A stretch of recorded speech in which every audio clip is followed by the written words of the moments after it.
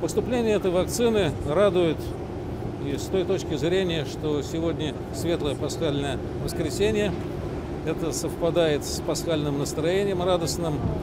Наша вакцина, я уверен, внесет свой вклад в борьбу э, азербайджанских наших друзей, органов здравоохранения Азербайджана э, с коронавирусной пандемией.